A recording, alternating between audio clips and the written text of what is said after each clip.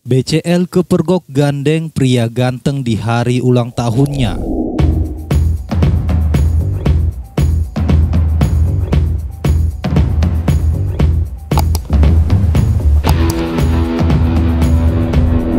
Halo guys, publik lagi-lagi dibuat heboh pasca beredarnya sebuah foto yang memperlihatkan BCL atau Bunga Citra Lestari tengah menggandeng seorang pria ganteng yang diduga adalah kekasihnya.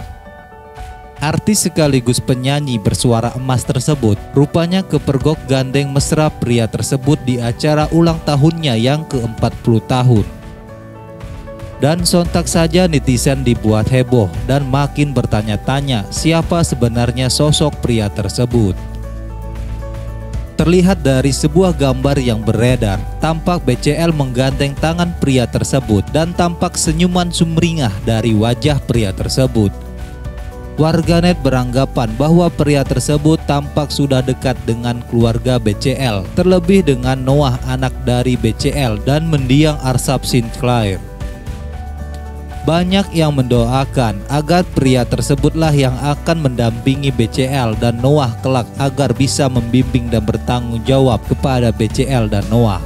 Tampak bahwa pria tersebut terlihat seumuran dan serasi bila disandingkan dengan BCL.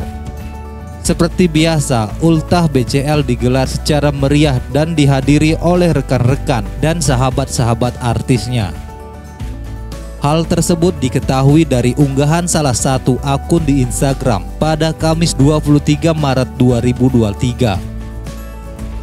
Di unggahan tersebut BCL tampak cantik dan jelita dalam memakai gaun warna hijau dan tampak terlihat BCL mengurai rambut panjangnya dengan polesan make up agak tebal pada wajahnya. Dan pria yang menemani di sampingnya juga tampak memakai setelan jas warna abu-abu.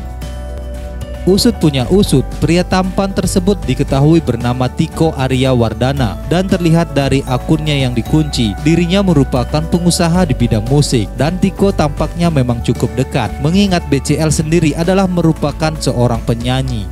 Dan kehadiran Tiko rupanya bukan hanya kali ini saja. Dilansir dari BCL Fans, Tiko juga tampak hadir di rumah BCL saat merayakan ultah pada tahun-tahun lalu. Mengetahui hal tersebut langsung membuat warganet heboh dan menanggapi postingan tersebut. Waduh Noah punya papa baru nih, ucap warganet. Dan banyak lagi tanggapan dari netizen lain.